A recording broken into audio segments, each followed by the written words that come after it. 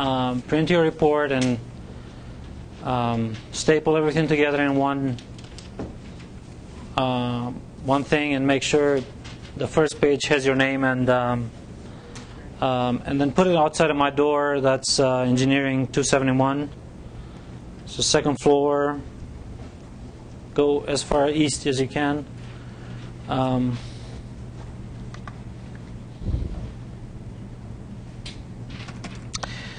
And uh, I want to say a few things I've heard.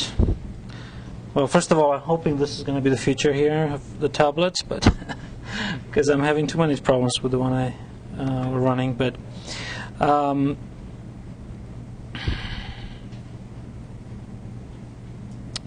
so uh, that's enough advertisement.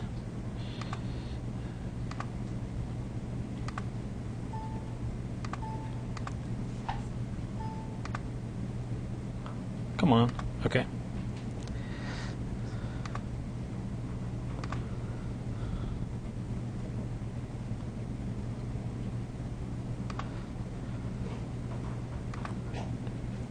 Okay, so any questions about um, publishing this? Has everybody uh, was able to at least run these commands in a file and then, um, well, as I said, just you didn't have to do anything but just copy and paste the M file, which is a format, right? Um, hmm? No? Everybody's passed that, that step. That's good. Um, let me. Yeah, I can type. This is incredible. Okay, so one thing that came up, um, we talked about last time about sensitivity to um, to a certain parameter. In this case, was Okay, so I, I, just ran the whole file, but I didn't really mean to. Um, one, one word of caution is if you have the cell mode here, which is by default enabled, so you can run each cell one at a time, um, don't just go in uh, randomly, like in the cell that you want to evaluate and start there, um, because the previous cells may contain, you know, the information needed for this cell. So so you're, if you're not sure what, what you need to run uh, to start running, for instance, if I want to just uh, focus on this sensitivity, then I have to go, you know, a little bit up. Can I can I start here? I don't have the x defined, so the x is defined previously, right? So the way I wrote this code is that it needs to run like you need to start, you know, from the beginning. If if it didn't have to if if it didn't need anything from above like then you can um, and if you start fresh so for instance you clear all everything. So right now MATLAB has, knows nothing about what I've done before right? You just open it. Then um, if I run here and I run this cell you see it already tells me. So not a reason to get frustrated. It just means you have to go you know where it was defined. Okay, so here's where it was defined, and you run it, and um, you know it's not the most efficient way, of course, but uh, one thing that I want to point out is this: when you start doing sensitivity, so you have a parameter that you want to change its value and uh, analyze the dependence on that value. The function that needs to be optimized, in this case maximized, obviously depends on on that parameter, right, as well as x. The nature of the of the function x is uh, the, the function as a function of x is pretty much the same. It's a parabola pointing down, right? But the location of the maximum, the vertex, changes is a depend you know becomes a function of r. And that's the sensitivity that you're computing. So so what you do here is you solve um, you find that x coordinate of the of the vertex of that parabola that moves with r. Okay. So in one of the homework problems, it asks, it asks not only for the x coordinate of the vertex, but also for the y coordinate of the vertex. So if you need to do, if you need to do sensitivity of the y coordinate of the vertex in terms of r, then what do you have to do? Besides computing the, the x max, y max, y max r. And that's done by, I just give this name, is uh, substituting in y the variable x with what value?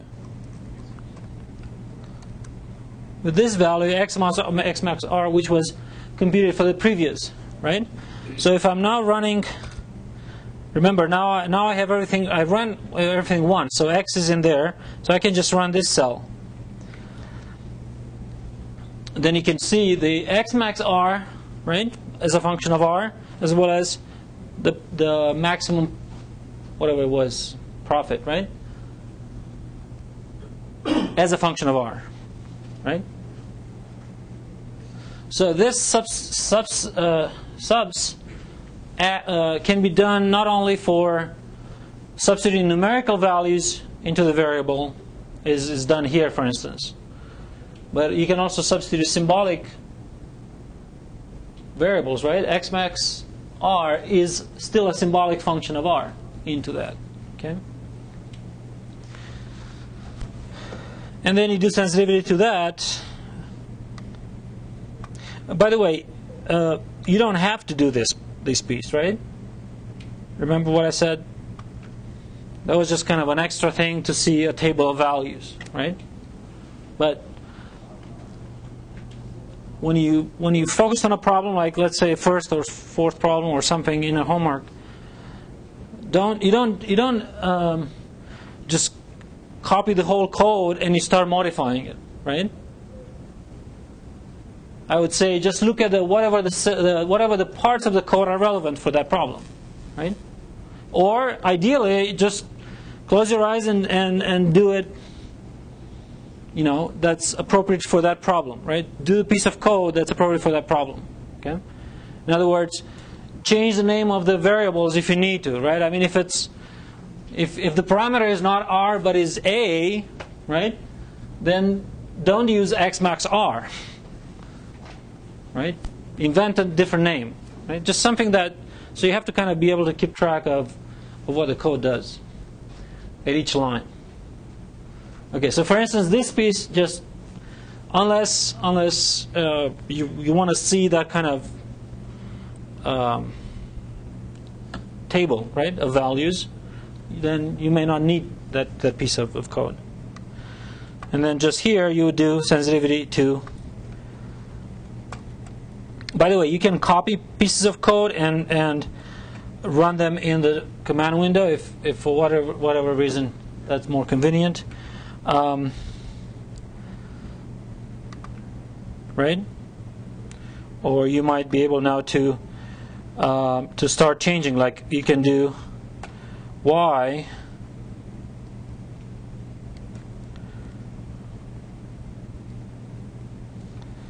and get the sensitivity with respect to the uh, of the um, of the maximum profit with respect to that parameter, right?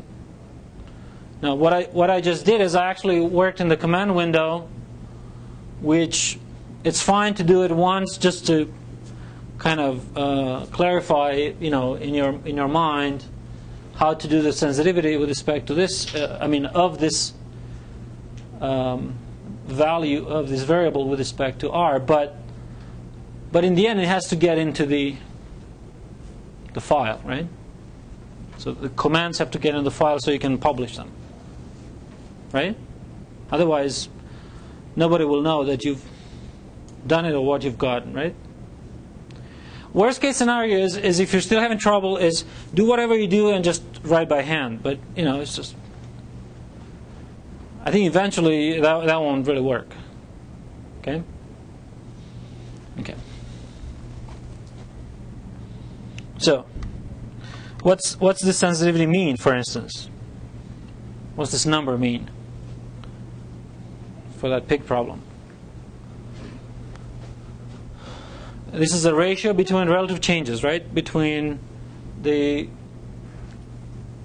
quantity that you observe, right? I said the conclusion, whatever, of that model is, uh, to that parameter. So this just says what?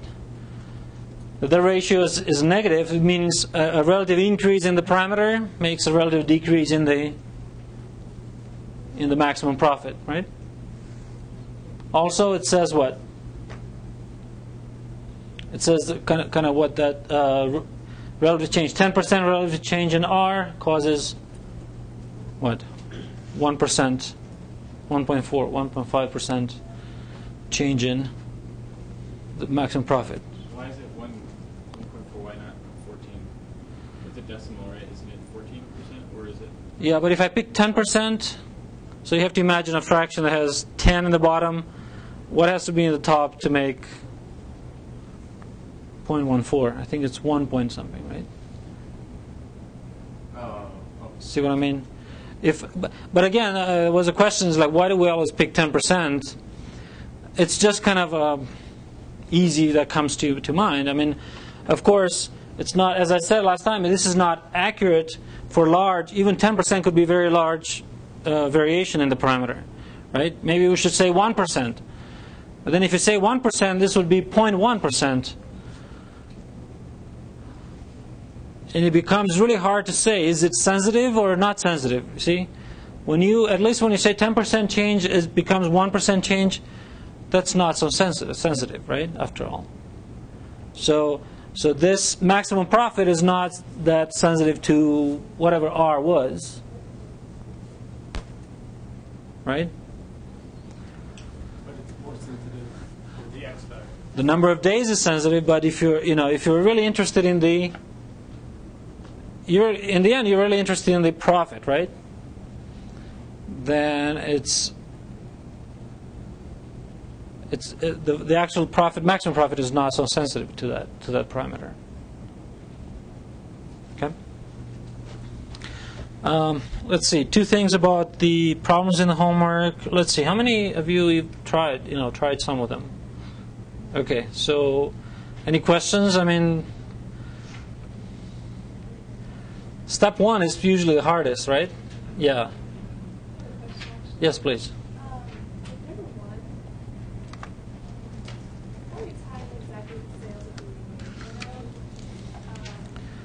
Okay, so, so right, so now uh, I'll, I'll, I'll uh, we'll talk uh, precisely about that example, but let me just say this that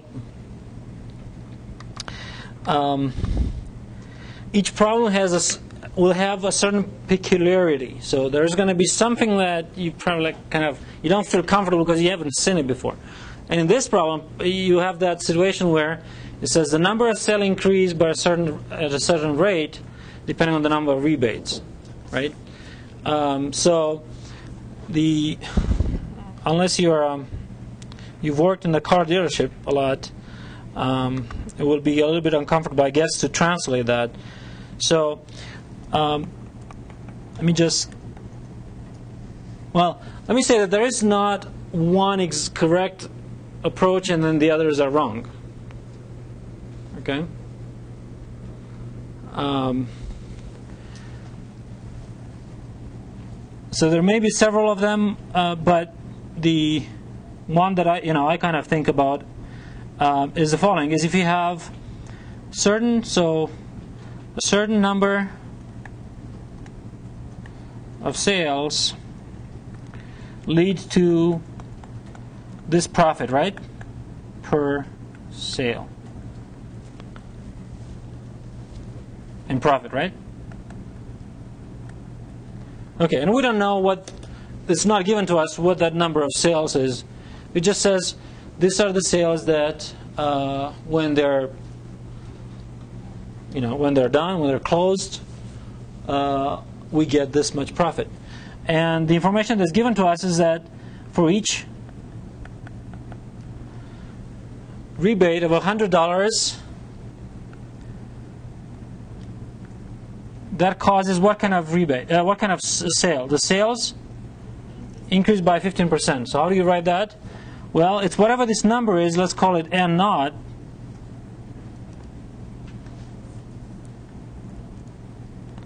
It's going to be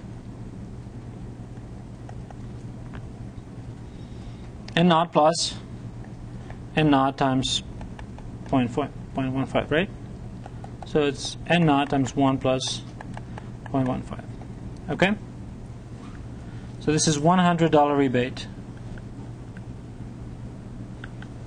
Now again, this is this is I don't know. This is the by market uh, analysis or something, right?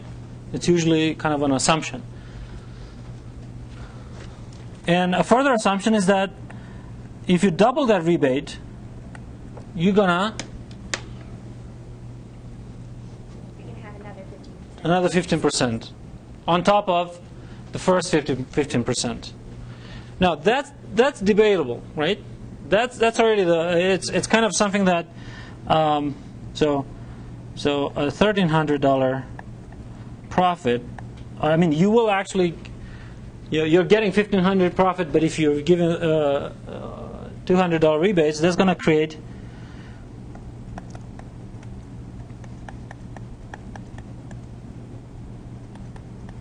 another 15%. So this is n naught times 1 plus 1.5 times 2, right? And so forth. So, right? So I'll let you conclude what uh, the formula should be, but clearly the variable is the number of rebates or the amount of the rebate. You, your pick. Okay.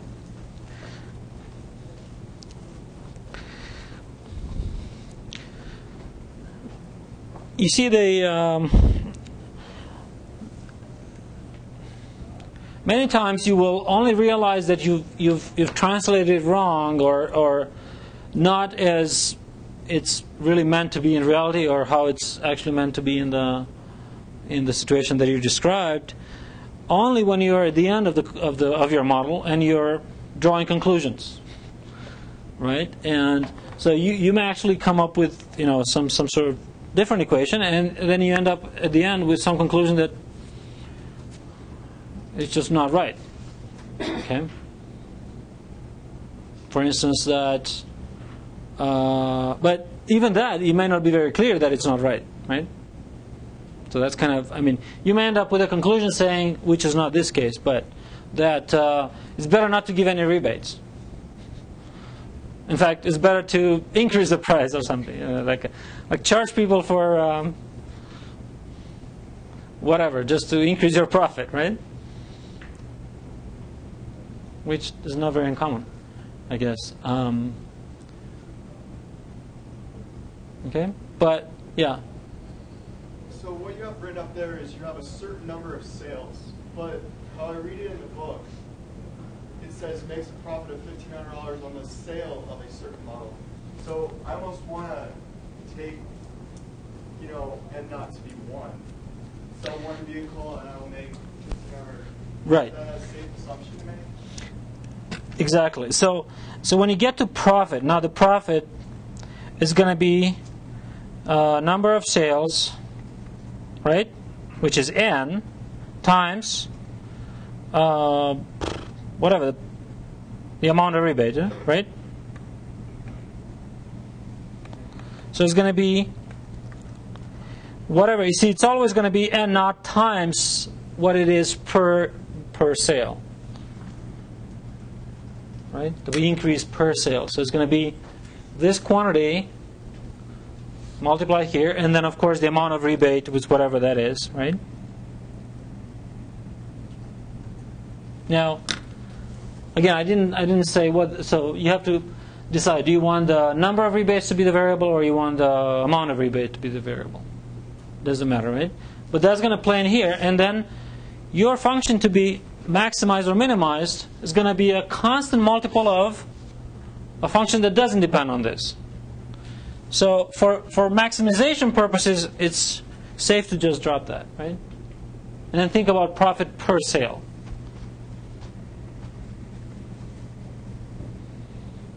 Okay? So yeah, that's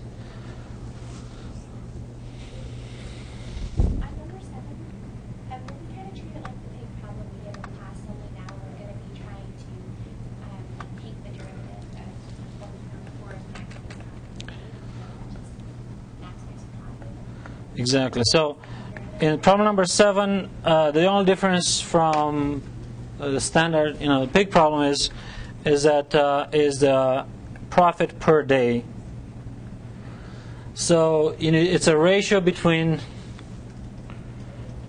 the profit you would make total, right?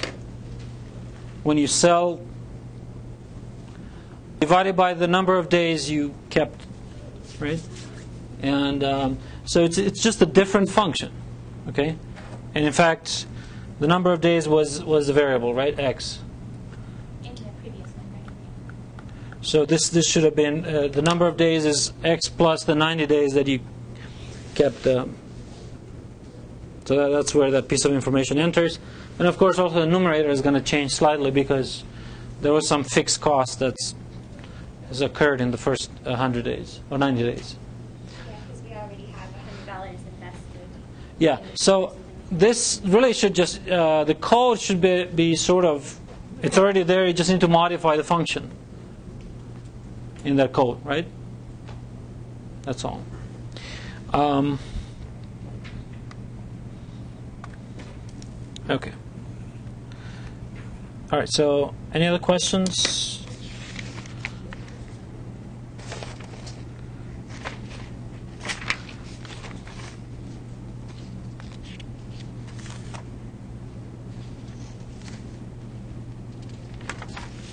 Hmm? All right. So, um, let me kind of start chapter number two.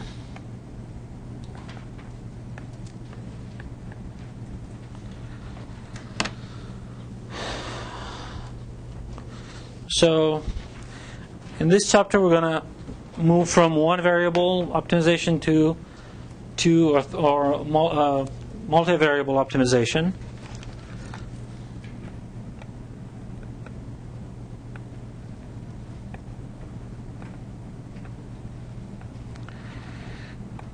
And um, when you have multivariable optimization, you probably know that there is there are issues of where the function is defined. You know, if it's defined on some uh, bounded region. So this really is Calc 3 stuff. So let's let's let's imagine a 2D uh, scenario where I have a function of two independent variables.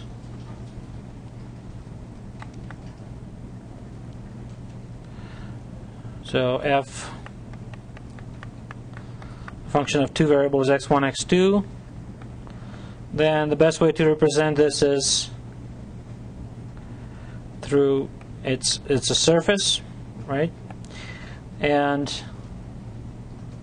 or let's call it z, something like that. So then the graph is going to be some sort of a surface, right? Assuming f is nice and smooth. And um, to find the maximum or minimum, you would have to do what?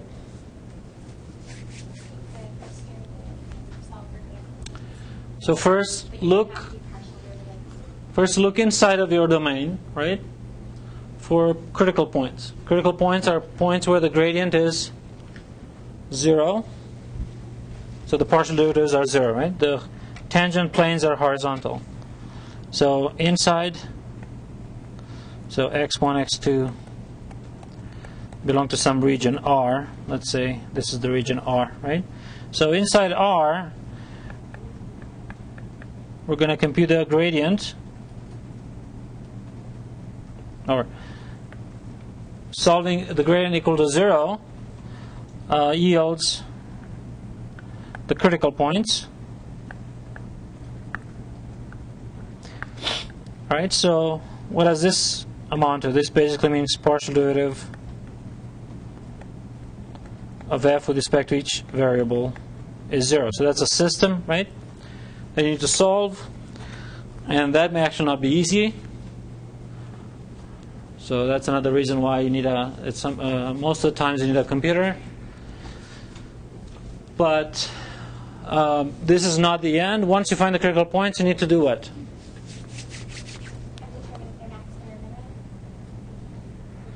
How do you do that?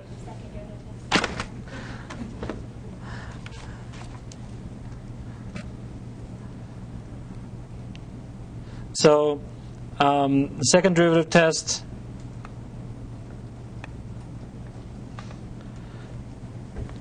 So let's let's say that uh, we get a, a solution that's. I'm going to put this hat. I don't know if you've seen it. I mean, if you use hats or tildes or whatever, but this is going to be a critical point. Second derivative test for um, local max minimum uh, is uh, the second. So it's says look at the Hessian, right? So the second derivative of f with respect to x1, second mixed derivative x1, x2, second mixed derivative x2, x1, and second first derivative with respect to x2. Okay, and um, again, Calc 3 tells you um, that x hat is is local mean f. Anybody on second uh, row or higher? If um, let's see. So first of all, the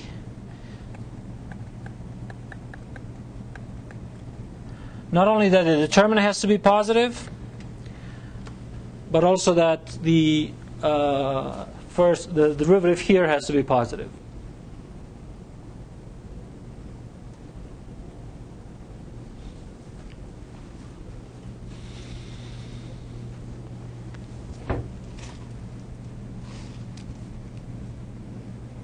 That's a minimum, right? What's the best way to remember this? Think of the paraboloid, right? x1 squared plus x2 squared. That has a minimum, right? What's the Hessian uh, determinant? So it's 2002, right? So it's a positive. So that gives local minimum. How do you have a local maximum? That first one is greater than, less than zero. Right, so if the determinant is still positive, but the entry on the on the first corner here is negative, right? And uh, x is a saddle if the determinant is negative. Okay?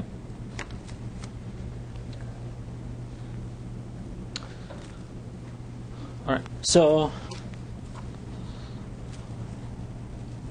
and of course, you can write this fx1 x1 fx2 x2 minus fx1 x2 fx2 x1, but these these two are the same, so you could just square the mixed partial derivative, right?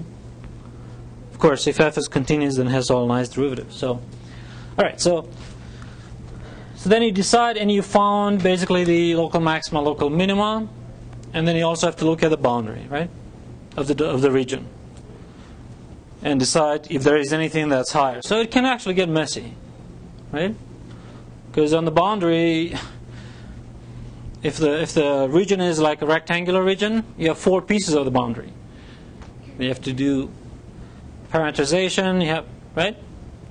It's actually quite. Uh, it can you know it's just just uh, a lot of kind of mechanical work, but the idea is clear, right? You're looking for the highest point on that surface.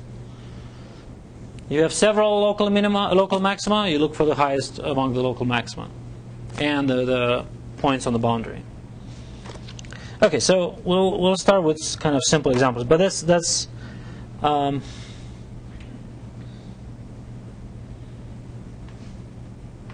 goes into uh, the stuff that we didn't, you know, you did in Calc 3. Okay, so how about a specific situation? So the example is, you know, no longer farm uh, situation, but it's uh, manufacturing. So color TV problem, and um, I have the code here, and I have the published version. So let me just copy it in uh, in MATLAB. But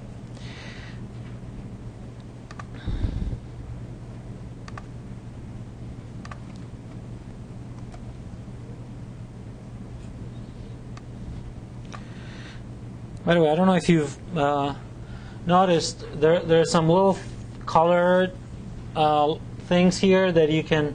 Well, first of all, this thing is not green. Green would mean everything's fine, the code is perfect, right? Well, at least MATLAB recognizes it. But if it's not green, if it's yellow, it means there are some errors, not terrible errors, so you can still run the code.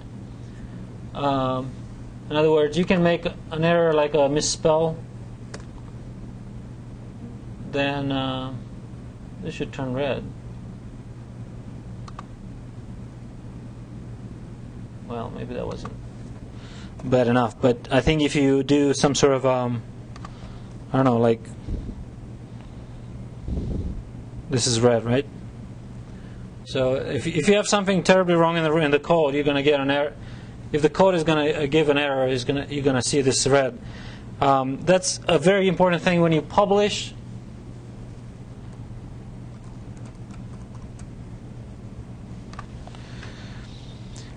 So I saved it, but now it's going to publish, and what's what do you think is going to happen?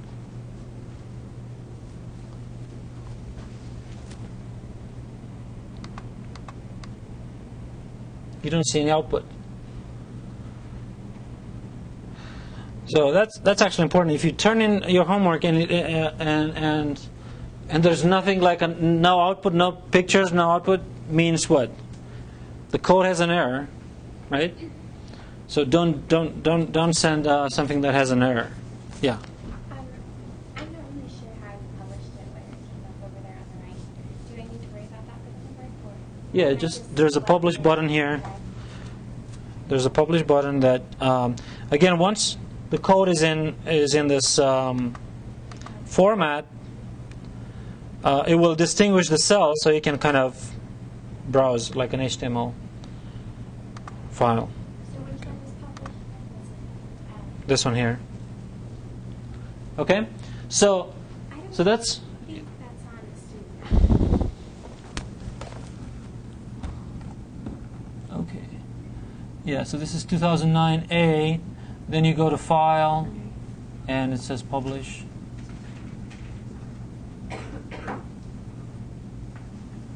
Um,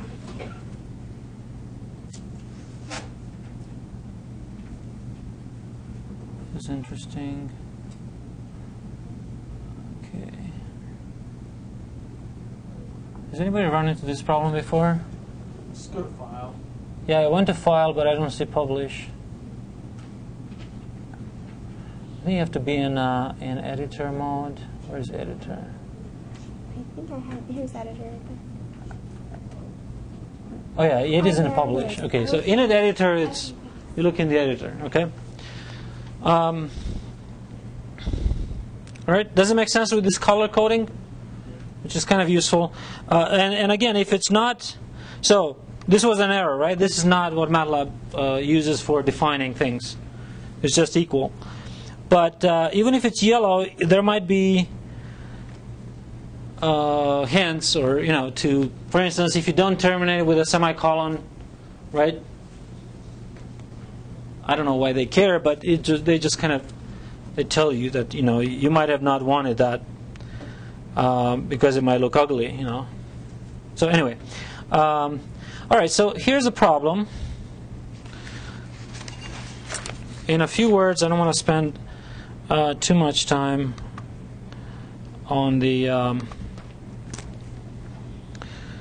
on the actual description, but in summary, you have you have a manufacturing plan that that um, uh, is doing two types of TVs, and um,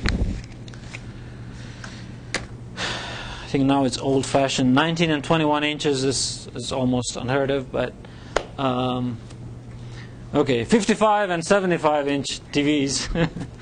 um, so two types of TVs, and each has a certain price uh, selling price, and each has a certain cost of manufacturing, right? And not only that, but there is some sort of uh, cannibalism between the two types. So if one, um, let's see, what's that? There are some rates at which the selling price of one type drops if if there are too many of the others on the market, right? So if they're, if they're uh, not on the market but being sold, if if uh, the if the 19 inch, I'll say with the 19 and 21, if the 19 inch set is being sold in certain amount, that forces the price of the 21 inch to drop. Okay, and that rate of drop is assumed to be linear again. So for each, so what's the actual uh, wording? Just to because interpreting this this wording is important. So what do you say? It is estimated that for each type of set, the average selling price drops by one cent for each additional unit sold. So, throughout this book, when we say for each additional thing, we, we mean what? We mean that if it's one, is going to drop by that amount, right? If it's 2, it's going to drop by twice that amount. So it's a linear dependence. Now, that's just a model. You could, you could, in reality, it's probably not, nothing's linear in the world, but um, that's sort of the first simplified model. Okay? So, so how does that translate? Oh, and not only that, but furthermore, the sales of 19, that's what I was saying before, sales of 19 inch sets will affect sales of 21 inch sets. Again, through some rate of drop, a price drop. Okay, so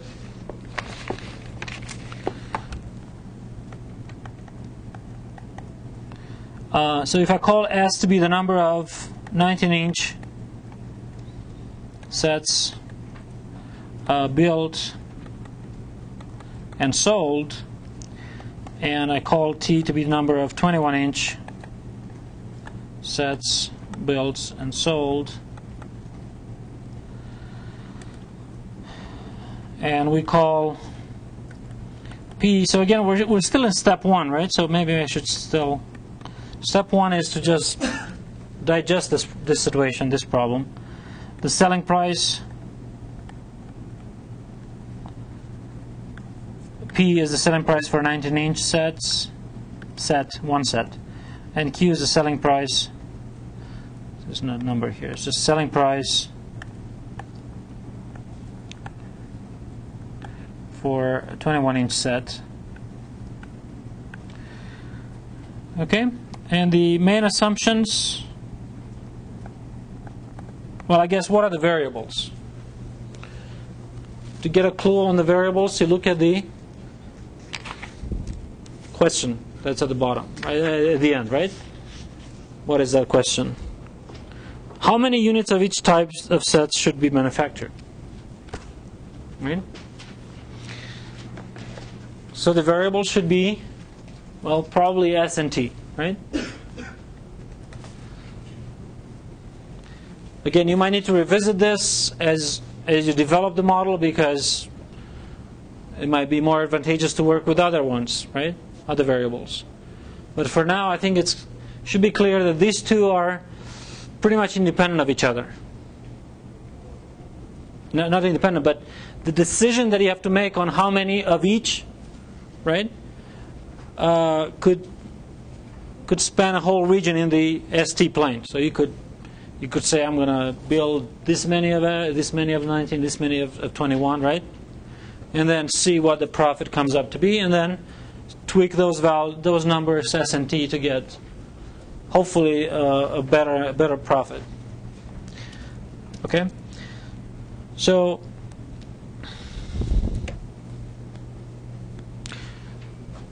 so how about these two variables? I mean, this I don't even want to call them variables anymore, right? We, we remember what we talked about. We said in step one we decide on what are our variables, parameters, and constants, right? and the function to be maximized or, or minimized. Right? But the function should depend on those variables. So if we have this sort of uh, as our variables, then we'd like to, the first thing is can we express these quantities in terms of the variables? So, and the assumption is, I mean, the, the, the, the text is clear, right? It says, I think the 19 inch initially has a fixed, has a, has a set uh, selling price of 339 which now buys you what a 32 inch or something. Um, but then this price drops every time there is an additional unit build, right? So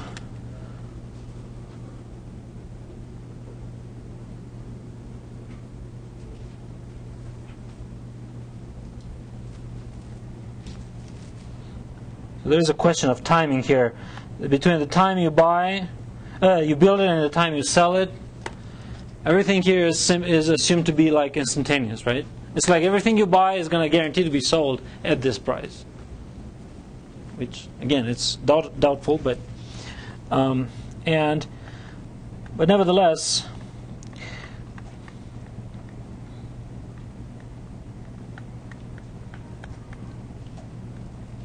kind of funny, right? Because I mean, we're, we're we're talking about situations that are to, I mean, are, are really are not realistic, right?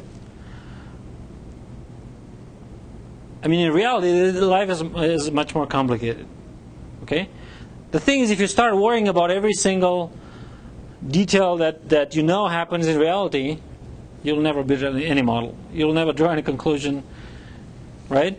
So uh, that's why sort of it's just strip it down like to bare bones um,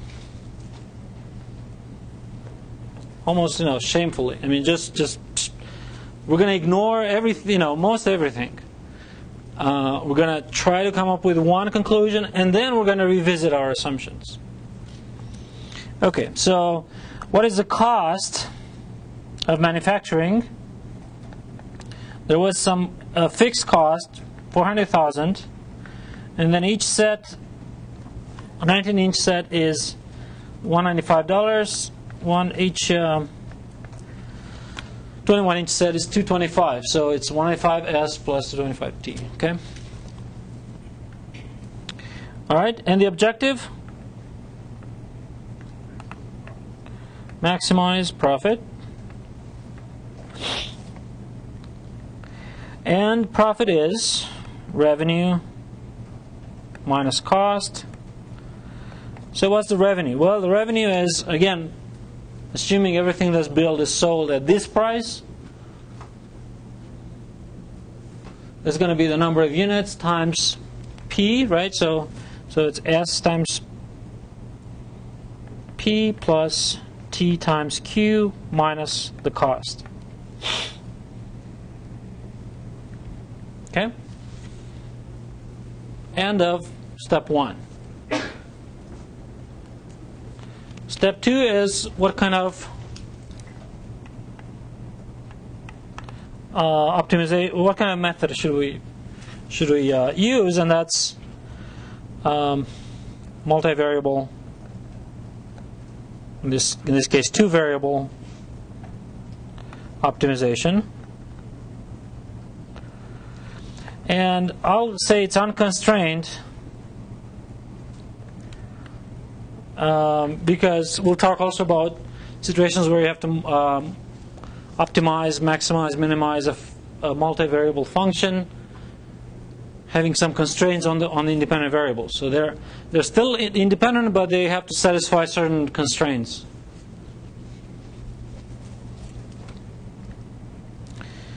All right. So so what's step three? Standardize everything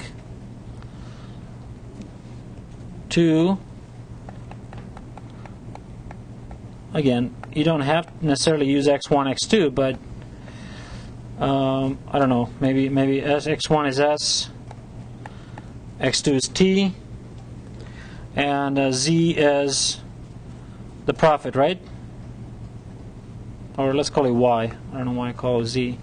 y is f of x1, x2 is a profit. And what's the profit? Well, is s. So it's x1 times whatever this p was, right? Plus x2, I'm just looking here, right? t times q. Whatever q is, but in terms of x1, x2 minus the cost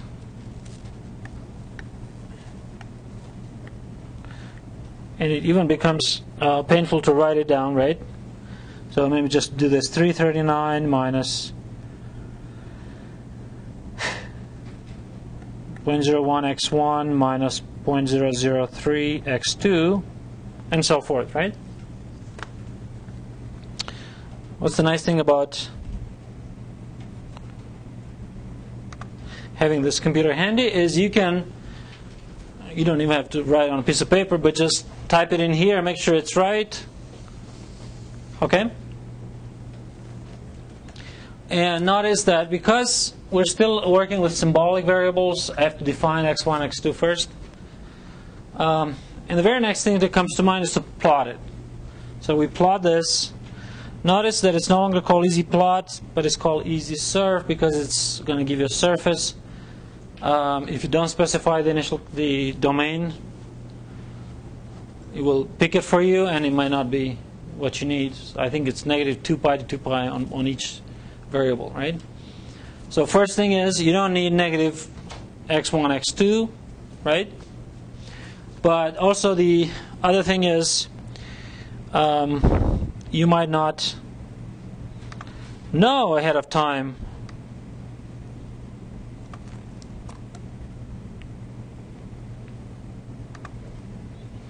So let me let me just say syms x1 x2 oh no.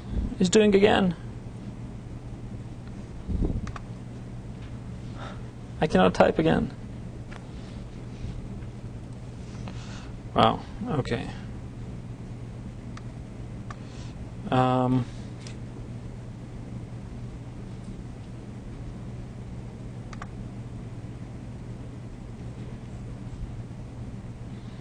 You said it's two months before the tablets come out? Okay. Um, I'm going to do it slowly, so. All right. But now syms. Shh.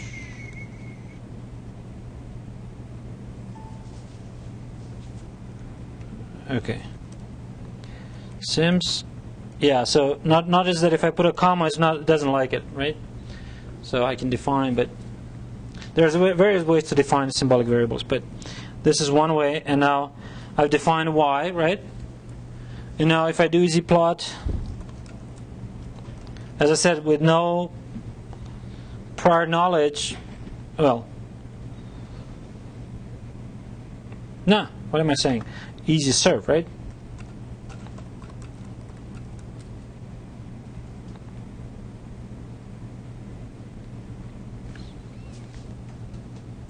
Right? So that's that's unfortunately that's not uh, the best because negative 2 pi to 2 pi. You saw that? So let's do 0 to 10, 0 to 10. Doesn't look much different. So what's the, what's the problem? Since we don't know how large, you know, the x1 and x2 should be, what do we have to do first?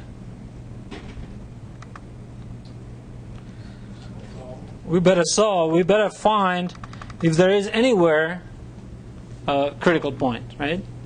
So, so again, the first time you develop this code, you don't, it doesn't just come out like that, right? You don't know 10,000 is what was going to capture the essential thing. But so the best thing is well, if you have symbolic capabilities, and we do, we can differentiate, take the derivatives, that's the gradient, right? Each partial derivative. And then we can solve it.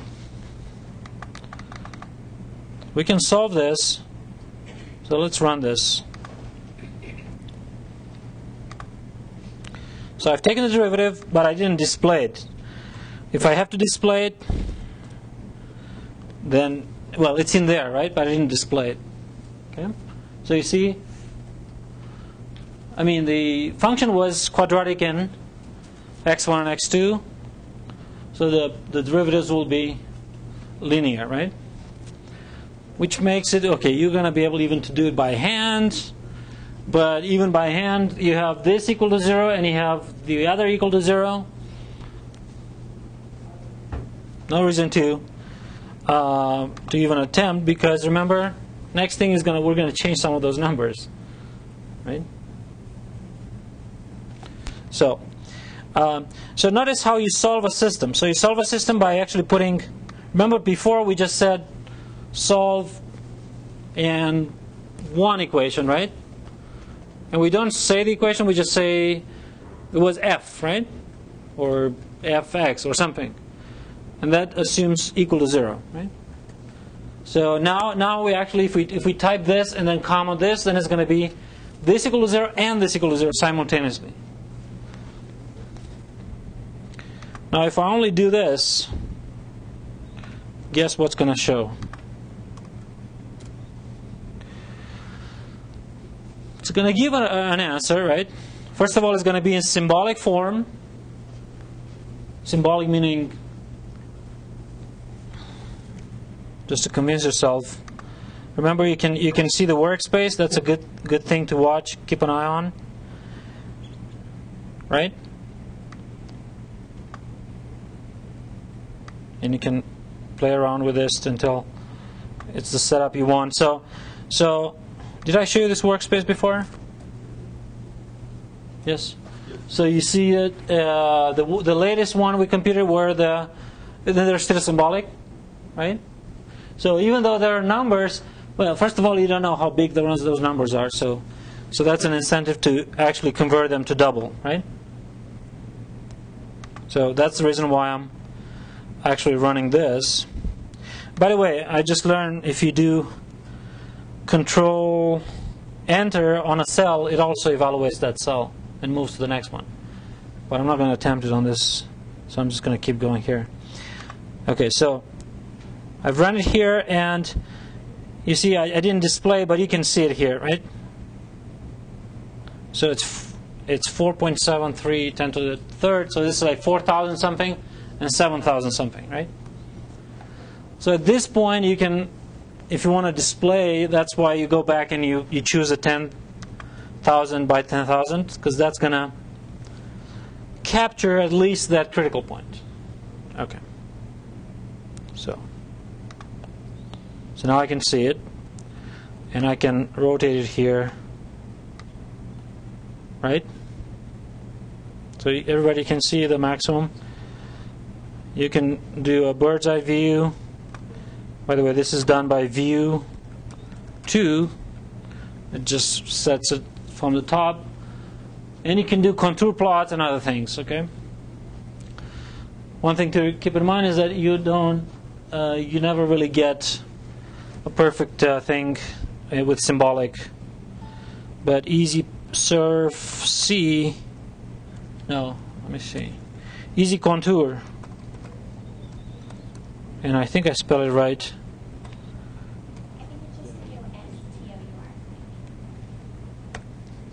Thank you. 0 to 10,000, 0 to 10,000. By the way, uh, if you put a comma here, you're going to get error. So it's, it's a little bit sensitive to what. Okay. So that's one thing. Another thing is ezcontour. F. There, there are various ways to do plotting, and we're going to use some. But, okay? Anyway, so 4,000 and 7,000 is the critical point, and you know what? What's missing in this code here? The second derivative test. Didn't bother to do that because the graph showed it's a maximum, but right? I mean, you know, you should never trust graphs. Um, so I think I think subsequent codes have that even that uh, uh, second derivative, right? Should we go through that second derivative test?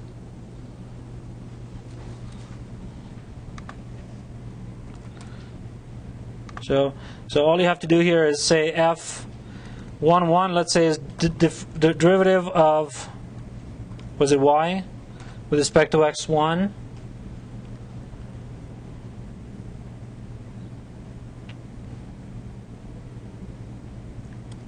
And then with respect to x1 again.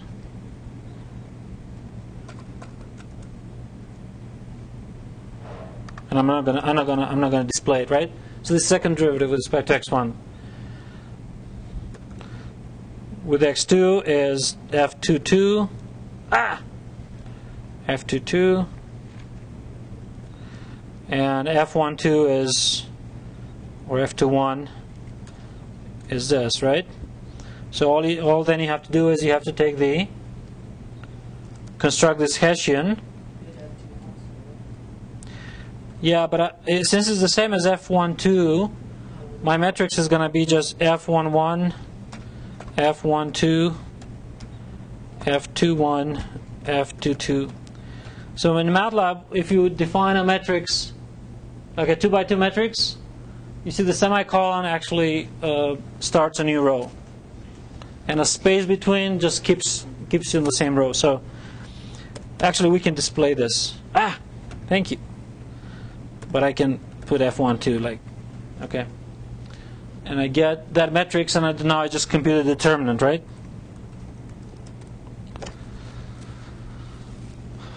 And it looks positive, right? So it's either local max or local minimum. And what decides is the sign of the fxx, by the way, is the same as the sign of fyy. Why? Is it always going to be like that? Why, why do we always look on the fxx sign of fxs and not, not fyy? Because it has to do, like, is it a saddle point or is it like that capital D? Right, but ta take a look at this. fxx fyy minus fxy squared. That's the determinant, right? If the determinant is positive,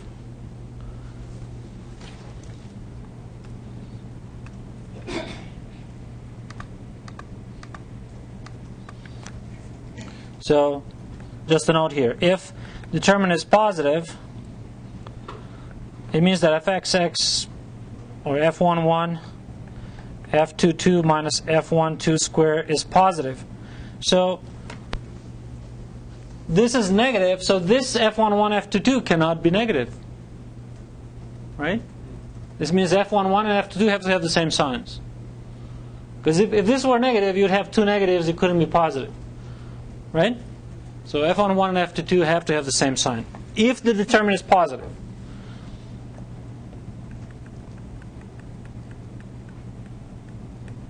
Okay, so that's why there's no ambiguity when you check that.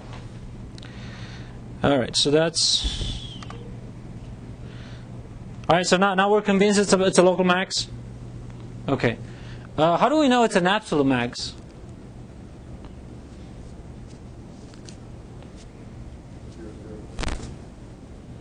We'd have to check on the boundaries, right? We really have to check on the boundary for, for you know you could have local a single local max right? But if you have an um, if you have an unbounded region you could have some somewhere else to settle and then things picking up again right? So somehow you have to see what happens as x x1 x2 go to infinity. And um, how do we see that well take a look at the well the function f or y, whatever y is, right? Uh, you look at the coefficients of x1 square, x2 square, those are the leading coefficients, and they're all negative. So it means as x1, x2 goes to infinity, things go negative, eventually even go negative, right? So it means you cannot beat, you cannot go higher than that value, which was, well, We didn't compute it. Here, here's the next. Here's the computation of that value, but it's going to be a positive profit. And also, you have to check the bound, uh, like when x1 is zero, or x2 is zero, right? So our domain is is what? Is the first quadrant. And then at the end, you can say, well, it's a maximum. But um,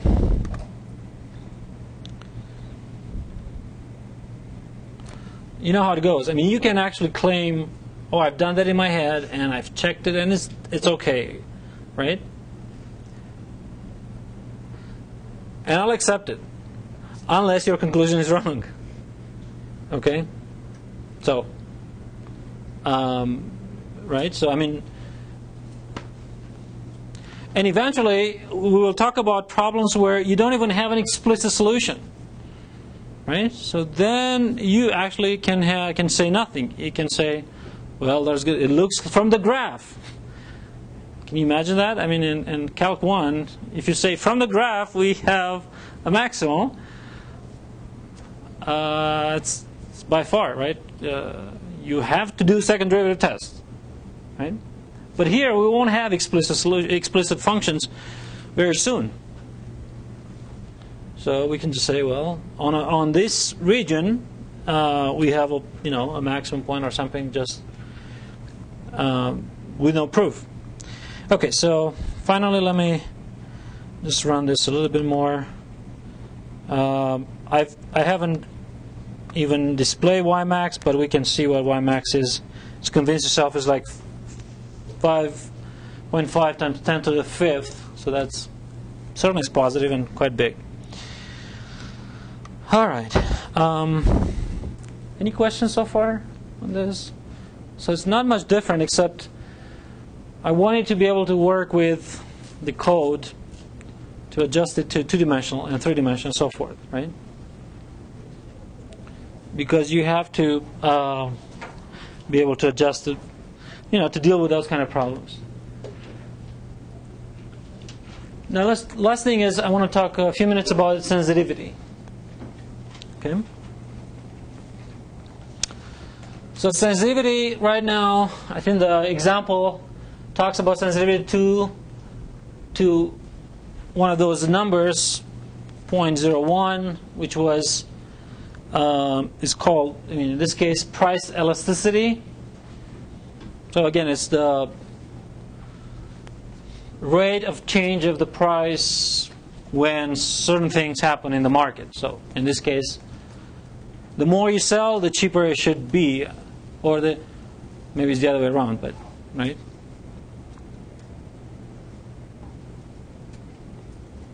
It can be cheaper the more you sell, right, and still make more money, right.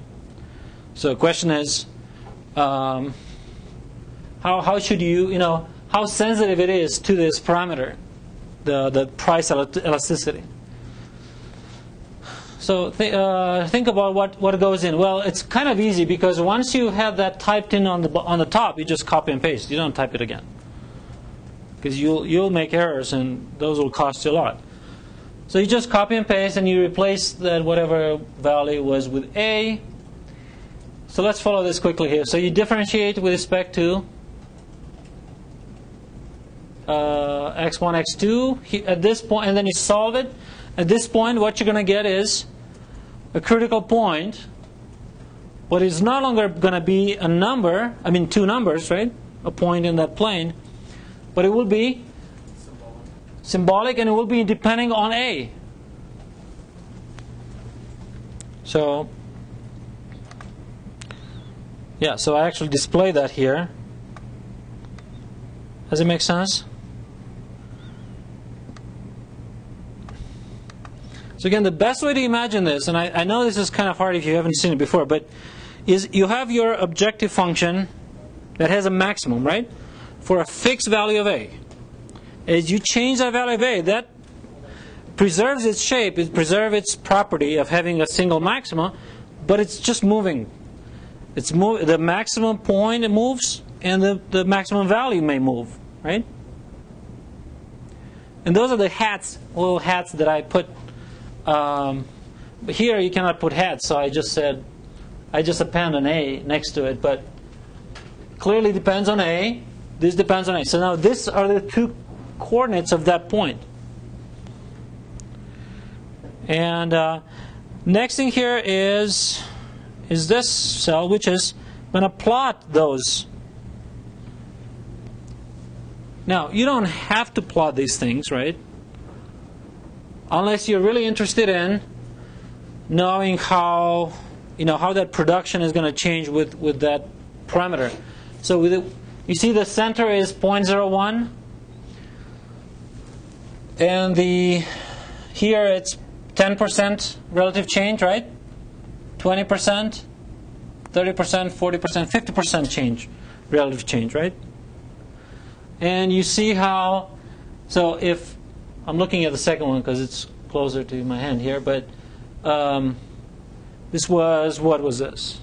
X2 was the number of 21 units. So you see if that value actually is not, not one cent, the price elasticity is not one cent drop, but maybe two cents drop, then it's optimal if you increase that uh, production and sale, sales of the 21 inch and you decrease the, the 19 inch, right? Believe me, you wouldn't be able to actually guess this by just reading that problem. I mean, you have to be supernatural to, or really, I mean, live, eat, sleep, uh, breathe economics to figure this out.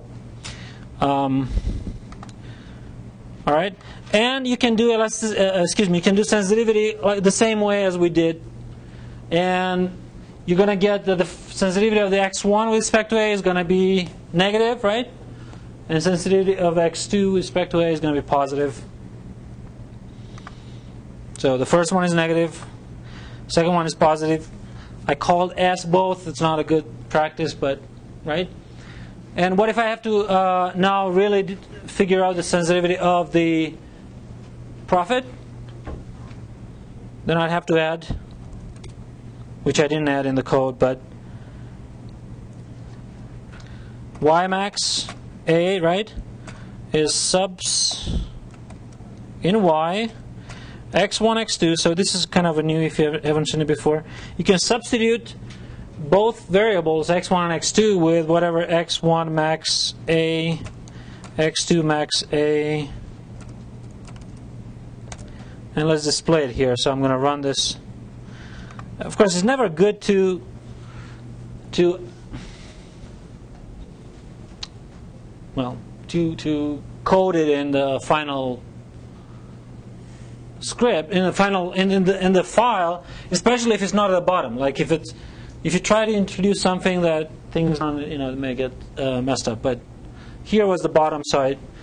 Whoa. Okay so this doesn't look pretty right you can of course you can ezplot so I'm just going to do it at command line ezplot y max a just to see but it's not a good thing to do because this allows negative values for a right and it allows values that are maybe not relevant. What was A? It was 0.01, right? So you, just want 0.1 or something like that. In any case, you see it's a, it's a drop. So the higher the A, the smaller the optimal profit will be. Okay. Um, so that's um, what I wanted to show you. Last word is next time we'll talk about uh, constraint optimization. So I posted actually the code that goes with that with constraints. Uh, I don't want you to look at this necessarily, but I want you to look at the handout on Lagrange multipliers. This is a Calc 3 thing.